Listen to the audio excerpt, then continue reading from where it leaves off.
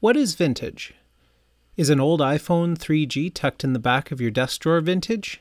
What about that half eaten burger from two months ago rotting away in the back of your fridge? Well, an article on RetroKids.com claims that an item should be at least 20 years old to be considered vintage. Huh, I guess that makes me vintage.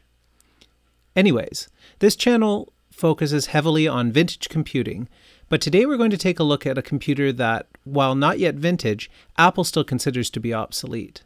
And we're going to make it great again. So here we have a 27 inch, late 2009 iMac sporting an Intel Core i7 2.8 GHz quad core CPU, ATI Radeon HD 4850 graphics, 4GB RAM, and a terabyte of spinning Rust.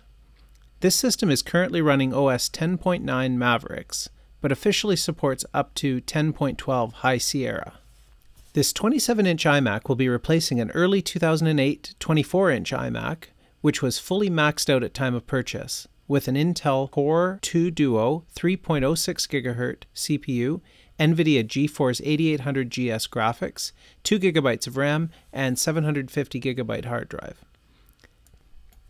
Since new, I've replaced a faulty GPU on that system, cleaned out the dust, upgraded the RAM to 4 gigabytes, upgraded to an SSD, and added a 1 terabyte external USB 2.0 drive. That's it, and it's been a light duty daily use machine from March 2008 until now, December 2021. So let's refurbish and upgrade this 27 inch iMac to the max. See what I did there? Oh, and the only way to make these bad puns better is to like, subscribe, and share this video. Okay, first things first peripherals. I have a working Apple wired keyboard, full size with numpad, which the cord was cut. I also have a replacement cord scavenged from a destroyed keyboard.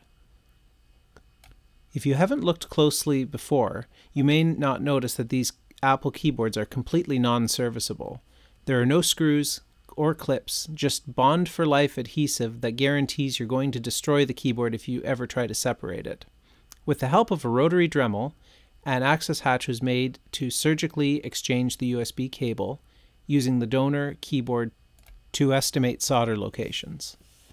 To be honest, this probably wasn't worthwhile, but I was just curious if it was possible to revive it. While this 27 inch iMac is only just over a year newer than the 24 inch, it brings a lot of important improvements. The biggest being quad core CPU support and support for up to 32 gigabytes of RAM. The goal for this project is to upgrade to the latest OS 12 Monterey via OpenCore Legacy Patcher, upgrade to the maximum 32 gigabytes of RAM, and install an SSD in the CD drive bay, because CDs are so 2009. I started with a USB stick with macOS 12 Monterey installer on it. Creating this stick was fairly straightforward process and there are many guides online which show you how to do it. The install USB has to then be patched with OpenCore Legacy Patcher. This patch installs a UEFI boot bootloader which facilitates booting the unsupported OS or installer. One really handy thing about Macs is the ability to boot your OS off an external hard drive. Because I'm installing an OS which is not officially supported, I thought it'd be best to get everything tested and confirmed working before I open the Mac to install the SSD. OS installation works exactly as usual. Partition the disk, then install. One issue I had with the installer was that it hung at less than a minute remaining for at least 30 minutes. It did figure itself out eventually, though. After the OS is installed, I run the Open Legacy Patcher again and install the bootloader to the SSD, so the SSD can now boot directly. And lastly, install post-installation patches. One of the reasons these OSs become unsupported on older hardware is because Apple drops driver support. In some cases, this may legitimately be due to a change in the new OS which makes the old drivers incompatible. However, in many cases, drivers can be brought over from previous versions of macOS with little or no modification. Other drivers, such as the Radeon HD 4000 series graphics in my case, require heavier patching to trick the OS into supporting basic non-metal acceleration. For this iMac, the patcher also brings back Wi-Fi support, which is broken by Apple. Wow, I was so excited at this point. The latest OS 12 Monterey working and hardly any effort. That's when I apparently forgot to knock on wood. As soon as I tested sleep mode, a feature which this particular iMac will use regularly and absolutely needs, I realized the graphics will go completely bonkers until you reboot. Every project needs a hiccup, doesn't it? Through many hours of testing and tinkering, I discovered that the Flurry screensaver with settings cranked would recover the screen within seconds, presumably causing the entire frame buffer to get rewritten. Great! Tweak screensaver settings and set hot corners for quick access. Perfect! Now install the SSD. Unfortunately, the CD adapter I had was a slim model, not the full size one the iMac uses. I tried butchering up the adapter, but still no go.